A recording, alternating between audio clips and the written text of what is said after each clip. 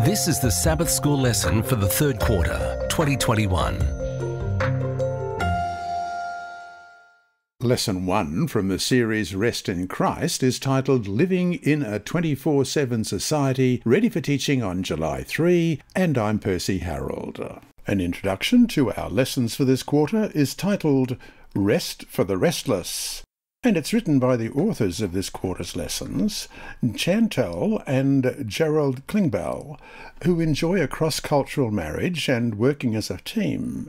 Chantal, an associate director of the Ellen G. White Estate, hails from South Africa, while Gerald, an associate editor of Adventist Review Ministries and research professor of Old Testament and Ancient Near Eastern Studies at Andrews University, was born and raised in Germany. They begin. The flight had been uneventful until the moment the captain announced from the flight deck that the plane would have to cross a major storm. Please tighten your seat belts. We will be in for quite a ride, the voice from the cockpit said in ending the announcement. Soon after, the plane began to shake violently as it fought its way through the storm. Overhead bins opened, people sat tense in their seats. After a particularly violent shudder of the plane, someone shrieked in the back of the plane. Images of a wing breaking off and the plane careening to the earth flashed through a few minds. All passengers looked tense and fearful, all except a little girl seated in the front row of economy. She was busy drawing a picture on the open tray table before her. Now and again she would look out the small window of a particularly impressive lightning strike, but then she would calmly resume her drawing. After what seemed half an eternity, the plane finally landed at its destination. Passengers cheered and clapped, so grateful and relieved to be back on the ground. The little girl had packed her bag and was waiting for people to leave the plane when one of the travellers asked her if she hadn't been afraid. How could she be that calm during a major storm and with the plane shaking so much? I wasn't scared, the little girl said to the surprised man. My dad is the pilot, and I knew he was taking me home. Restlessness and fear often go hand in hand. Living in a world that keeps most people busy 24 7 can result in restlessness and fear in our lives. Who doesn't at times struggle with fear, with worry, and with dread of what the future holds? The past is done, the present is now, but the future is full of questions, and in this unstable world, the answers might be not what we want to hear. We wonder if we might be able to make a looming deadline to cover the next rent or school payment, or to make our struggling marriages survive another storm. We wonder if God can continue to love us even though we disappoint Him again and again. In this quarter, we will tackle some of those fears head on. Rest in Christ, the title for this quarter, is not just a title for a study guide or the captivating logo of an evangelistic campaign or camp meeting. Resting in Christ is the key to the type of life that Jesus promises his followers. The thief does not come except to steal and to kill and to destroy. I have come that they may have life, and that they may have it more abundantly. John 10:10. 10. As the authors worked on this study guide, they suddenly realized the all pervasiveness of the concept of rest in the texture of biblical theology. Rest connects to salvation, to grace, to creation, to the Sabbath, to our understanding of the state of the dead, to the soon coming of Jesus, and so much more. When Jesus invited us to come and find rest in him in Matthew 11:28, he not only addressed his disciples or the early Christian church, he also saw future generations of sin-sick, weary, worn-out, struggling human beings who needed access to the source of rest. As you study the weekly lessons during this quarter, remember to come and rest in him. After all, our Heavenly Father is in control and is ready to bring us home safely.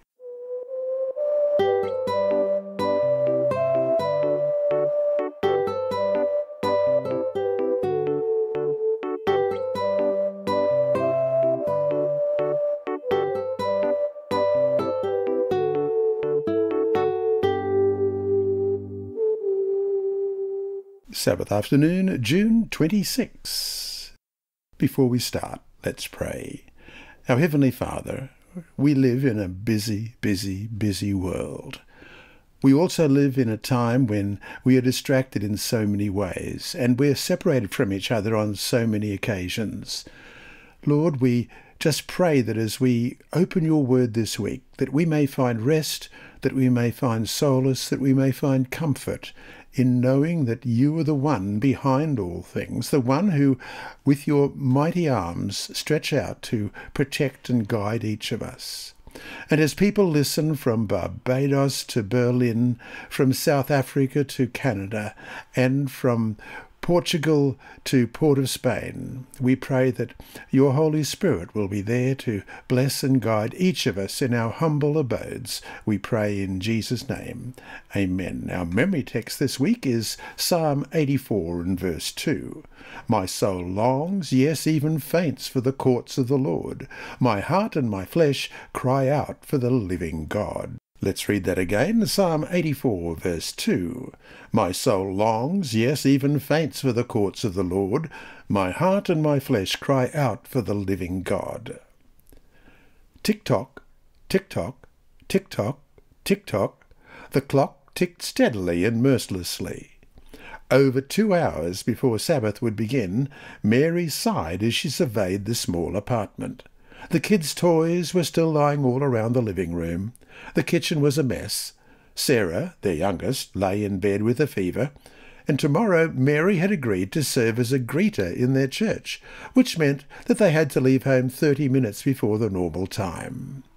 I wish I could find some quietness tomorrow, Mary thought wistfully. At the same time, on the other side of town, Josh, Mary's husband, was standing in line to pay for their weekly groceries. Traffic had again been a nightmare. The checkout lines were long. Everyone seemed to be doing their shopping right at that moment. I need some rest. I can't go on like this, Josh groaned inwardly. There must be more to this life. Our lives are governed by rush hours, work hours, medical appointments, virtual conversations, shopping, and school functions. Whether we use public transport, ride a small scooter, or steer a minivan to ferry around our families, the drumbeat of constant engagement with the world around us threatens to drown out what's really important. How do we find rest amid so much hustle and bustle?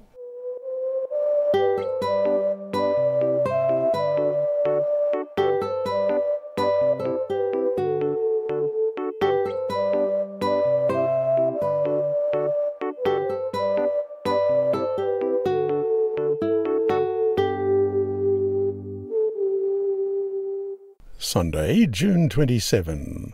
Worn and weary. Question. Read Genesis chapter 2, verses 1 to 3. Why would God create a rest day before anyone was even tired? Genesis 2, beginning at verse 1. Thus the heavens and the earth and all the host of them were finished. And on the seventh day God ended his work which he had done, and he rested on the seventh day from all his work which he had done. Then God blessed the seventh day and sanctified it, because in it he rested from all his work which God had created and made.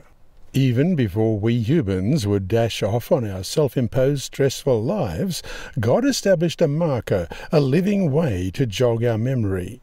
This day would be a time to stop and deliberately enjoy life, a day to be and not to do, a day to especially celebrate the gift of grass, air, wildlife, water, people, and most of all, the Creator of every good gift.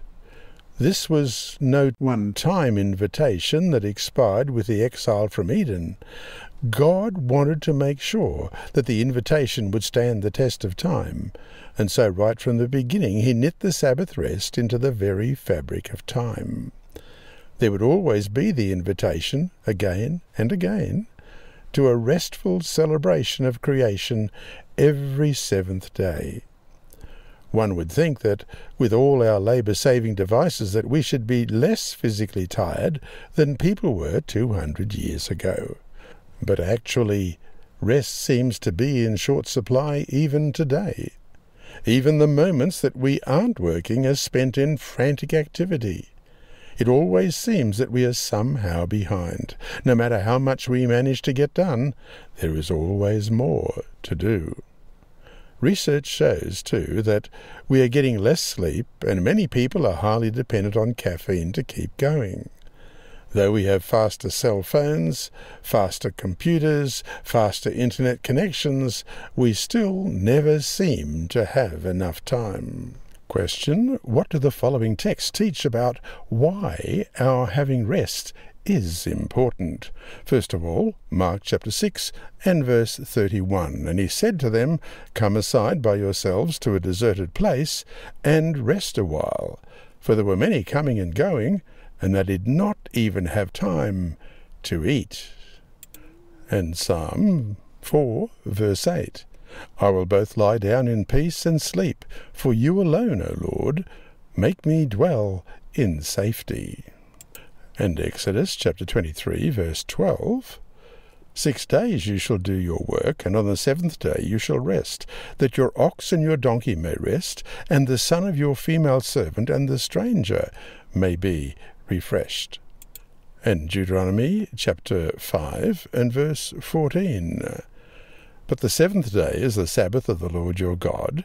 In it you shall do no work, you, nor your son, nor your daughter, nor your male servant, nor your female servant, nor your ox, nor your donkey, nor any of your cattle, nor your stranger who is within your gates, that your male servant and your female servant may rest as well as you.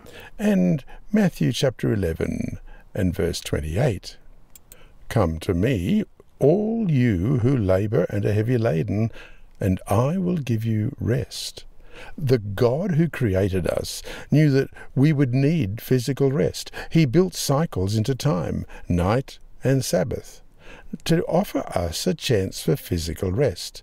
Acknowledging Jesus as the Lord of our lives also involves taking seriously our responsibility to make time to rest. After all, the Sabbath commandment isn't merely a suggestion, it is a commandment.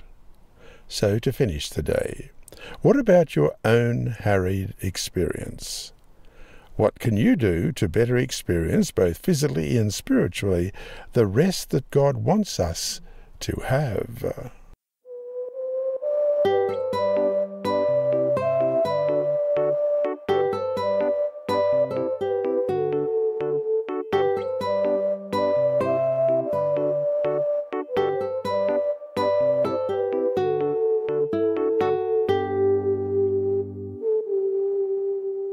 Monday, June 28. Running on empty. Lack of sleep and exhaustion because of physical overexertion are real problems. More troubling, however, are the times we feel that we are running on emotional empty. And of course, when lack of sleep is added to emotional trials, we can become painfully discouraged. Baruch Jeremiah's scribe must have felt like that often during the last turbulent years of Jerusalem, prior to the chaos, suffering, and havoc that would follow the city's destruction by the Babylonians. Question Read Jeremiah 45, verses 1 to 5. Write a quick diagnosis of Baruch's emotional health. Jeremiah 45, beginning at verse 1. The word that Jeremiah the prophet spoke to Baruch, the son of Neriah, when he had written these words in a book at the instruction of Jeremiah in the fourth year of Jehoiakim the son of Josiah, king of Judah, saying, Thus says the Lord, the God of Israel, to you, O Baruch. You said, Woe is me now, for the Lord has added grief to my sorrow. I fainted in my sighing, and I find no rest. Thus you shall say to him, Thus says the Lord, Behold, what I have built I will break down, and what I have planted I will pluck up. That is, this whole land. And do you seek great things for yourself? Do not seek them, for behold, I will bring adversity on all flesh, says the Lord, but I will give your life to you as a prize in all places wherever you go. Can you imagine what it would feel like if God sent a custom made message to you personally? Baruch received a message straight from God's throne room. Jeremiah 45, verse 2, we've just read. Thus says the Lord, the God of Israel, to you, O Baruch. We are told that this happened in the fourth year of Jehoiakim of Judah, about 605 or 604 BC. Jeremiah 45:3 represents a good summary of how people feel when they are running on empty. You said, Woe is me now, for the Lord has added grief to my sorrow, and I fainted in my sighing, and I find no rest. From all that we know in Scripture about this period, it's clear that Baruch's complaints were not superficial wails. He had good reasons to feel discouraged and emotionally worn out.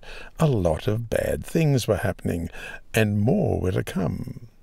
Question How does God respond to Baruch's aches and pains? Let's look at verses 4 and 5 again of chapter 45.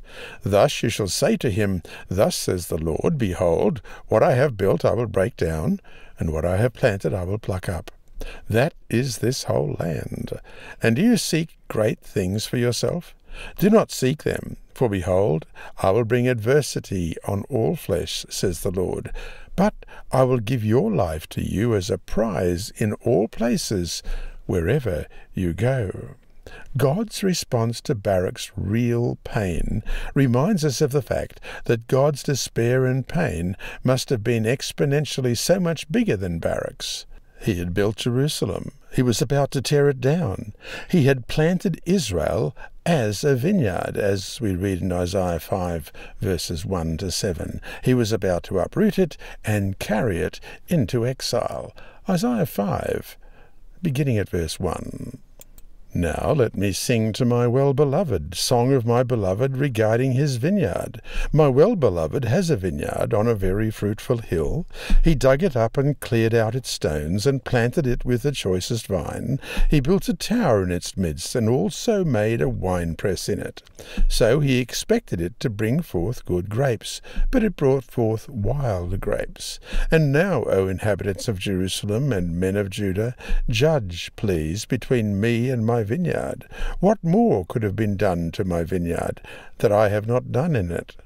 Why then, when I expected it to bring forth good grapes, did it bring forth wild grapes? And now, please let me tell you what I will do to my vineyard.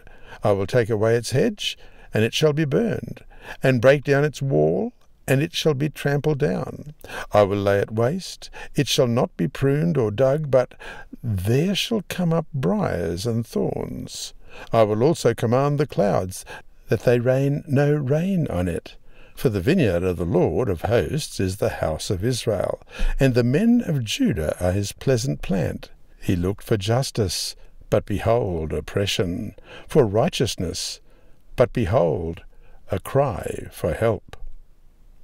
This was not what the Lord had wanted for his people, but it had to come because of their rebellion against him. But there was light at the end of the tunnel for Baruch. God would preserve Baruch's life even in the midst of destruction, exile, and loss. And so to finish today, read again the words of God directed to Baruch. What general message can we take from them for ourselves? That is, what does it say about God ultimately being there for us, regardless of our situation?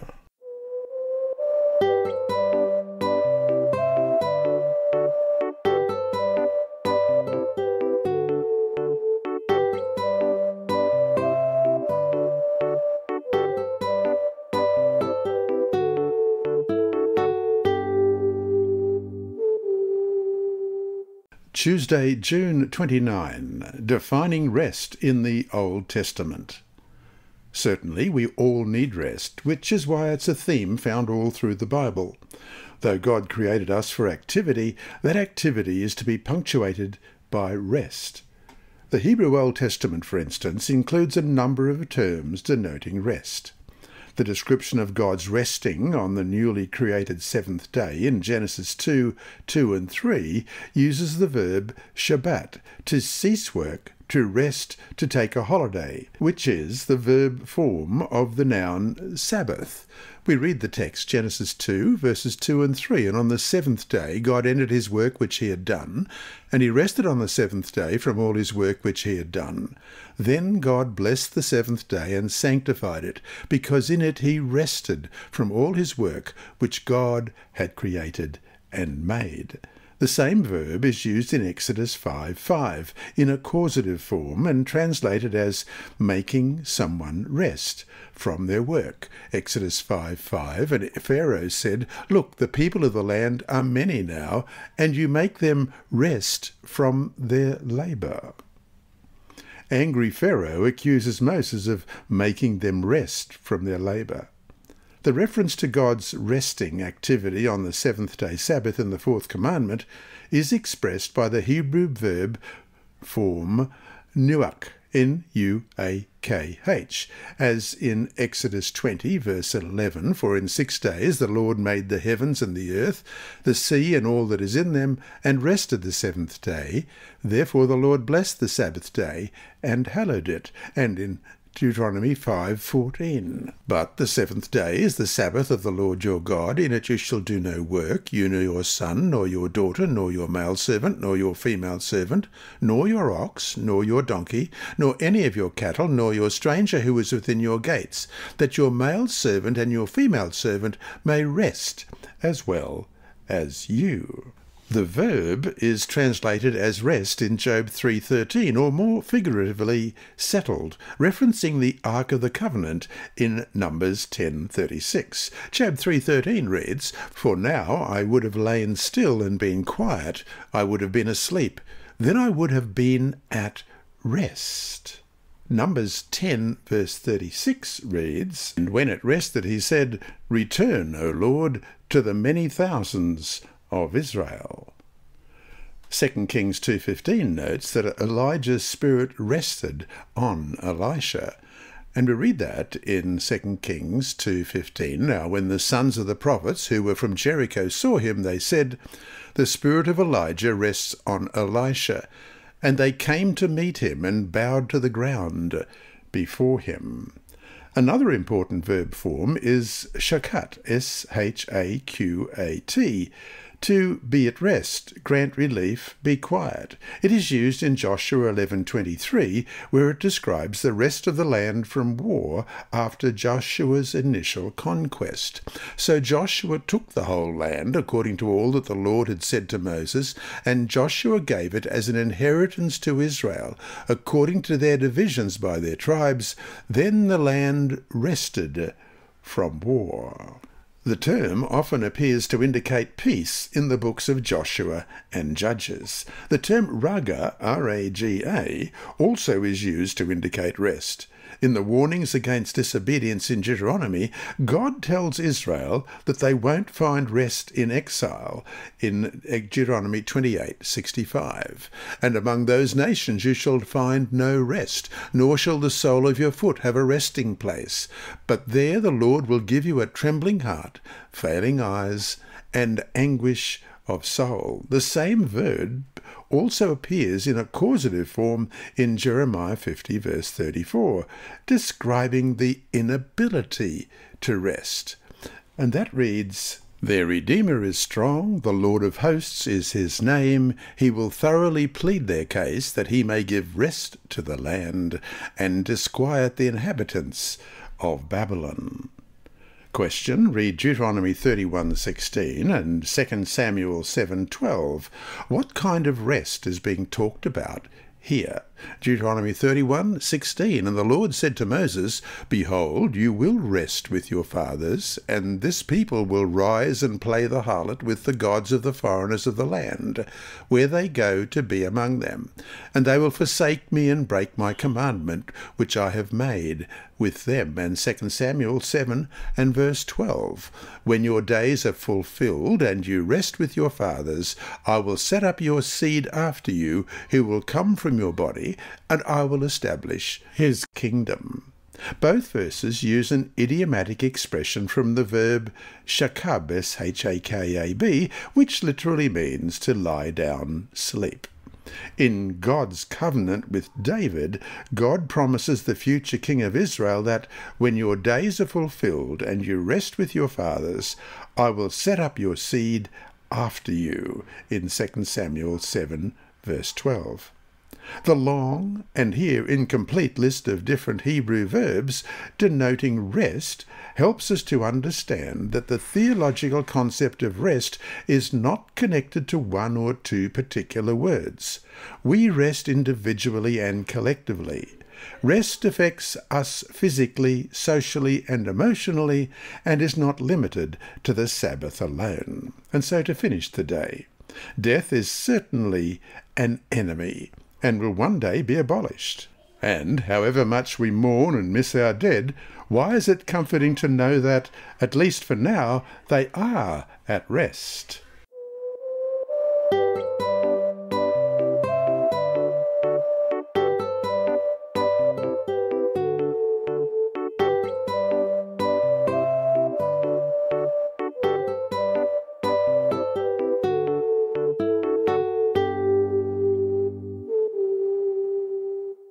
Wednesday, June 30. Rest in the New Testament. A verb form for rest often found in the New Testament is anapauo, A-N-A-P-A-U-O, to rest, relax, or refresh. It is used in one of Jesus' most famous statements on rest in Matthew 11:28. Come to me, all you who labor and are heavy laden, and I will give you rest. It can refer to physical rest, as we read in Matthew 26 and verse 45. Then he came to his disciples and said to them, Are you still sleeping and resting? Behold, the hour is at hand, and the Son of Man is being betrayed into the hand of sinners. In the final greetings to the Corinthians, Paul expresses his joy over the arrival of friends who refreshed his spirit, as we read in 1 Corinthians 16, verse 18 For they refreshed my spirit and yours. Therefore acknowledge such men. Another verb used to indicate rest is hesychazo, H-E-S-Y-C-H-A-Z-O. It describes the Sabbath rest of the disciples as Jesus rested in the grave, as we read in Luke 23:56. Then they returned and prepared spices and fragrant oils, and they rested on the Sabbath according to the commandment. But it also is used to describe living a quiet life. 1 Thessalonians 4:11 that you also aspire to lead a quiet life, to mind your own business and to work with your own hands as we commanded you. And can indicate that someone has no objections and thus keeps quiet, as in Acts 11:18 when they heard these things they became silent and they glorified God saying then God has also granted to the Gentiles repentance to life. When the Epistle to the Hebrews in Hebrews 4 4 describes God's creation rest on the seventh day, it uses the Greek verb katapauo, K A T A P A U O, to cause to cease, bring to rest, or rest echoing the use of the Septuagint, the Greek translation of the Old Testament. Hebrews 4 4 reads, For he has spoken in a certain place of the seventh day in this way, and God rested on the seventh day from all his works. Intriguingly, most of the use of this verb in the New Testament occurs in Hebrews 4. Question Read Mark chapter 6, verses 30 to 32. Why did Jesus tell his disciples to come aside and rest, considering the many mission opportunities they then had? Look at the larger context of Mark 6 as you think about this question. Mark 6, 30 to 32. Then the apostles gathered to Jesus and told him all things, both what they had done and what they had taught. And he said to them, Come aside by yourselves to a deserted place and rest a while. For there were many coming and going, and they did not even have time to eat. So they departed to a deserted place in the boat by themselves. Come aside by yourselves and rest a while, we read in verse 31, is not framed as an invitation. It's expressed in the form of an imperative, which is an order or a command. Jesus is concerned about his disciples and their physical and emotional well being. They had just returned from an extensive mission trip on which Jesus had sent them two by two, as we read in verse 7. And he called the twelve to himself, and began to send them out two by two, and gave them power over unclean spirits. Mark 6:30 describes their excited return. Their hearts must have been full. They wanted to share their victories and their failures with Jesus, yet Jesus stops it all by first calling them to rest. Mark includes an explanatory note, for there are many coming and going, and they did not even have time to eat in verse 31. Being overwhelmed and too busy in God's business was a genuine challenge for the disciples as well. Jesus reminds us that we need to guard our health and emotional well being by planning in seasons of rest. And so, to finish today, what are ways of helping and relieving your local church pastor or elder or anyone you know who could be burned out from doing the Lord's work? What could you do to express your appreciation and help this person find rest?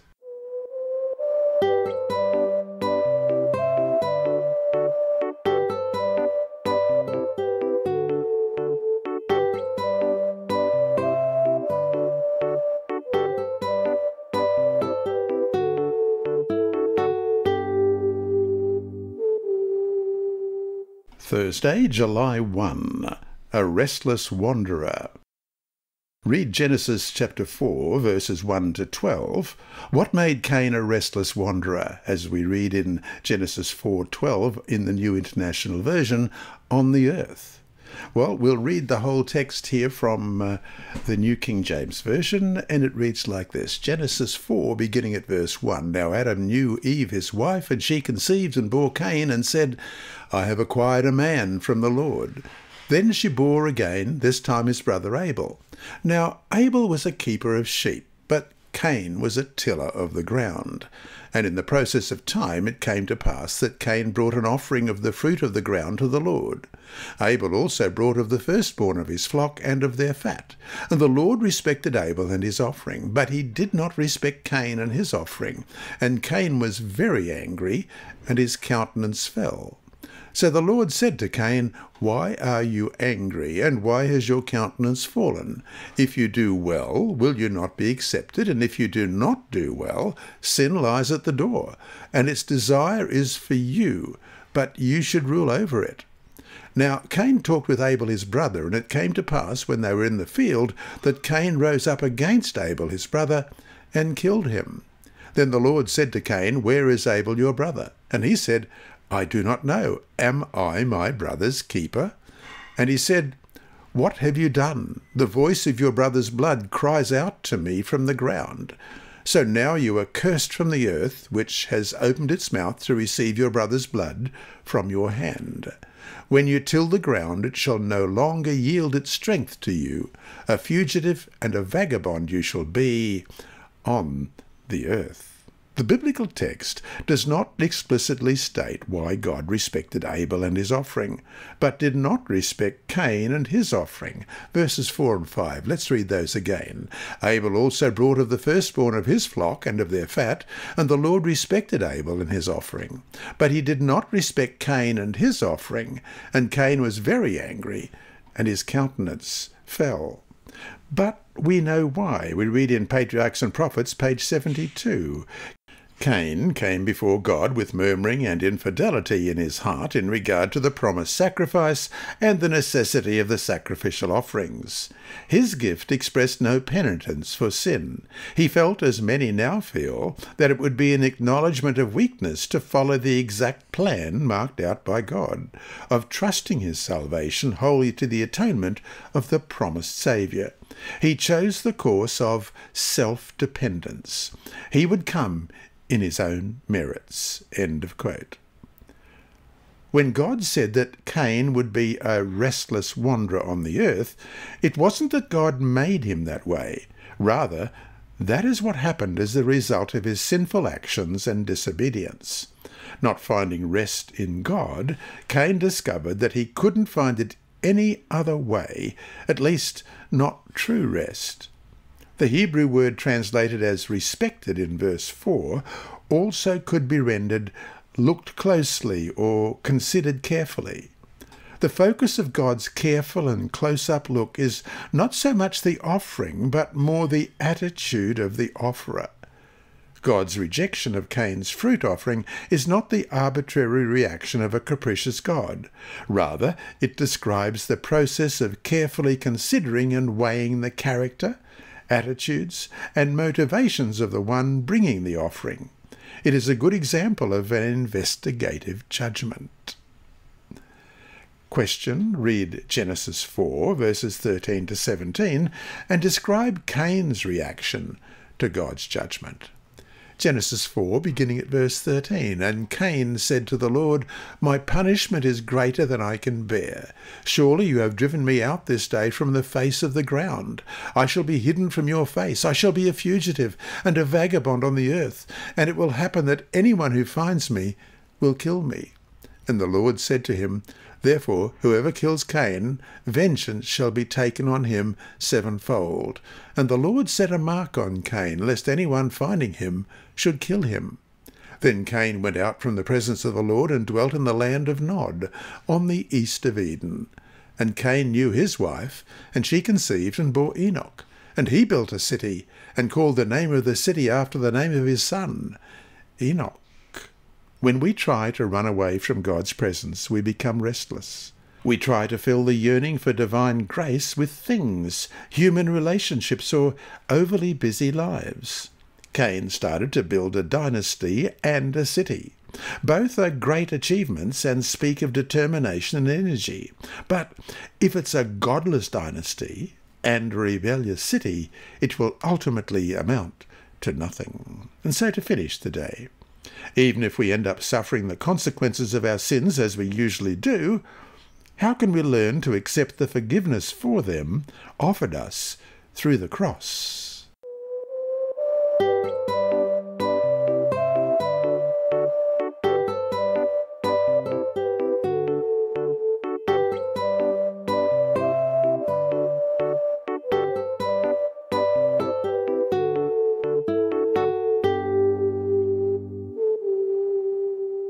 Friday, July 2. From the book The Desire of Ages, page 362, we read In the estimation of the rabbis, it was the sum of religion to be always in a bustle of activity. They depended upon some outward performance to show their superior piety. Thus they separated their souls from God and built themselves up in self-sufficiency. The same dangers still exist.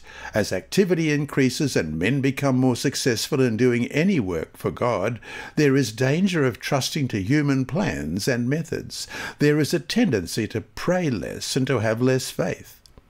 Like the disciples, we are in danger of losing sight of our dependence on God and seeking to make a saviour of our activity. We need to look constantly to Jesus, realizing that it is His power which does the work. While we are to labour earnestly for the salvation of the lost, we must also take time for meditation, for prayer, and for the study of the Word of God. Only the work accomplished through much prayer and sanctified by the merit of Christ will in the end prove to have been efficient for good. End of quote. And that brings us to our four discussion questions for this week. One, the constant pressure of being on top of things, being available physically or virtually all the time, and trying to live up to ideals that are neither realistic nor God given can make people sick emotionally, physically, and spiritually.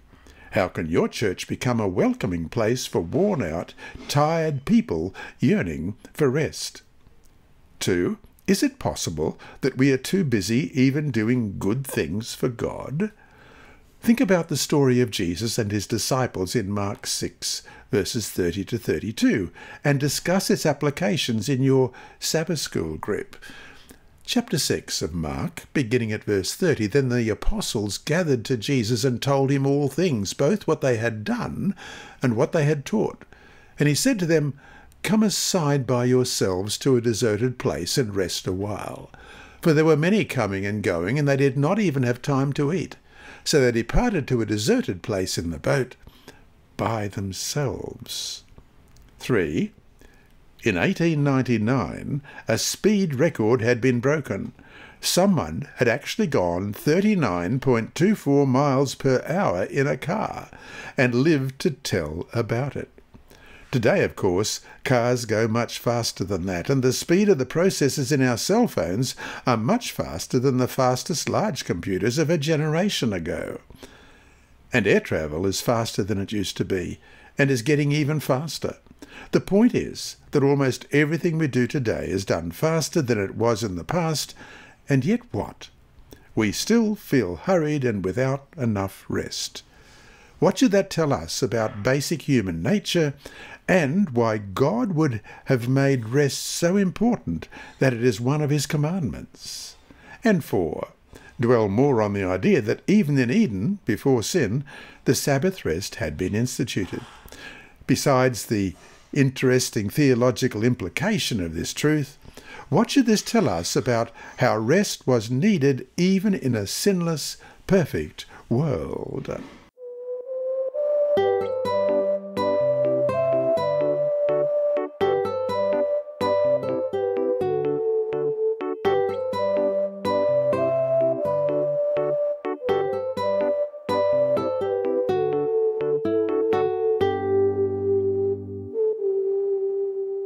Inside Story. Our mission story this week is titled Flip Flops and Fights, and it's by Andrew McChesney of Adventist Mission. Everything seemed strange to six year old Danae when he arrived in the United States with his father, mother, and six older siblings. Cars filled the streets of their new hometown. Danae hadn't seen many cars in the refugee camp in Thailand where his family had lived after fleeing violence in their native Myanmar. Before, the family had lived in a bamboo home without air conditioning and running water, and Danae had bathed in a river. Now everything was in the house. Danae thanked God for the new home. Danae arrived at public school wearing flip-flops, and the teacher immediately sent him home. The staff member who drove him home told his mother how to find the shoe store. But neither of his parents could drive or speak English so a relative took him to the store to buy his first pair of shoes. Danae returned to school the next day, but it was a difficult year. Some children treated refugees unkindly, and one of his brothers got into fights. Then a Seventh day Adventist befriended the family and helped Danae transfer to a church school for second grade. Scholarship funds from a 13th Sabbath offering helped cover his tuition. Danae was happy to be in the church school with kind and friendly classmates. He had heard about God from his Christian parents at home, but now he was reading the Bible for himself at school. He wanted to learn more, and as he grew older, he joined various Bible study groups. His faith came to the test when he was twelve. One day his father collapsed outside the house after working in the garden. No one knew how to call the ambulance, so family members lifted him into a car and rushed him to the hospital. Danae was devastated. That night he tossed and turned. He prayed like never before. God, please help my dad to recover. And he said, If he does recover, I will get baptized and devote myself to you. Three days later, he saw his father in the hospital. The once strong man looked pale and frail. The physician said he had suffered a stroke. Danae continued to pray. Weeks passed and his father slowly improved. When he came home, Danae made good on his promise to God. He was baptized. His father died of cancer five years later, but Danae, 17, is glad that he gave his heart to Jesus. After getting baptized, I began to read the Bible more, pray more, and talk to God more, he said. The more I did these things, the happier I felt. God is always watching, and He is always going to be there for me. I always feel thankful. A 2011 13 Sabbath offering helped refugee children like Danae receive study in Adventist schools in the North American Division. Part of this quarter's offering will again help refugee children obtain an Adventist education in North America. Thank you for planning a generous offering. This lesson was read by Dr. Percy Harrold for Christian Services for the Blind. It's supported by the Sabbath School Department and Hope Channel Australia and is rebroadcast by Christian Record Services and through podcasts at It Is Written in the United States, Hope Channel Germany, and through Apple iTunes and SoundCloud. Remember, God is always faithful.